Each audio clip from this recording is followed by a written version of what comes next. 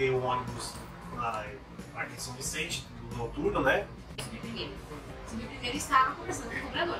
Ele veio depois, veio em seguida, e falou até me achando.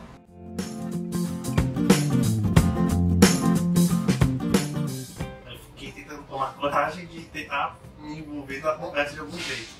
Então, foi aí quando ela perguntou sobre onde ia descer para pegar um outro ônibus, eu me intrometi na, me intrometi na conversa falei dele a sugestão do caminho, que inclusive parte do itinerário eu também ia fazer.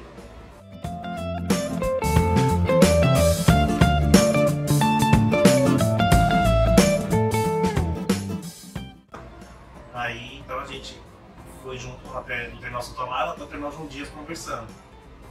Então, chegando lá no terminal João Dias, conversando mais um pouco. Daí ela foi para onde ela morava e eu fui para minha casa. Só teve porém, isso tudo. Eu não lembrei, não, a gente não passou pela minha cabeça de pegar o telefone dela. E nem eu nenhum. Porque eu não duas semanas sem ter contato nenhum, né, porque não pegamos nenhum tipo de telefone.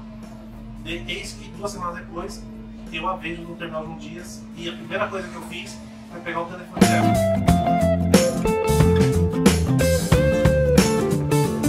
Viu? Foi ela. Ela que me encontrou no terminal. Eu tava lá no quiosque, tomando meu cafezinho.